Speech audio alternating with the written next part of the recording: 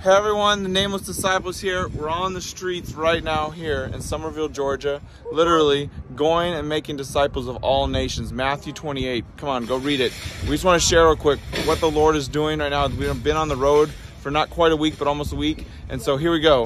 Yeah, he's been doing so much, even short amount of time, especially in the youth. He's moving so mightily. We were able to baptize three young girls the other day, and just we've just seen so much family restoration and his spirit just being poured out, especially in worship, hearts coming to that place of repentance and humility. So it's been so awesome, and this is just the beginning. So we're super excited. Come on, come on. We're just here in Walmart right now. I've been praying over people and handing out flyers to the event we're gonna be doing this weekend. And uh, Kobe, you have a testimony that's happened here. Yep.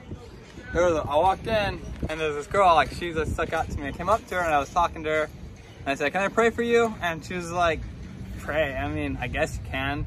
And so I asked what was wrong with her and she said her back and head hurt. So I prayed for her and it is healed just like that. And she looked at me like, well, keep praying. like, yeah. so I kept praying. And then she went on to say that her son's suffering with depression right now because he has some buddies that just died. So they're going to go to the revival and we'll get that cast out of them. come on, come on. Yes.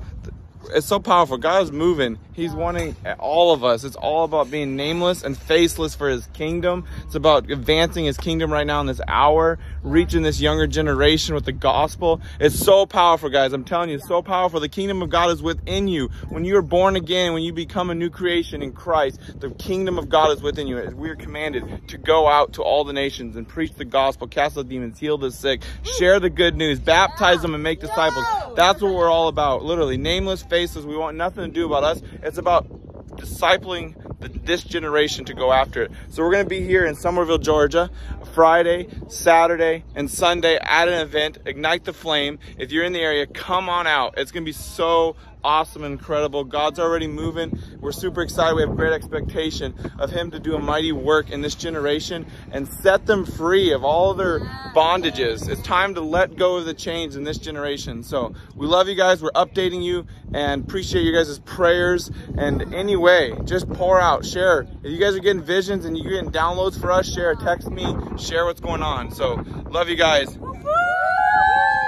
Nameless disciples for the King.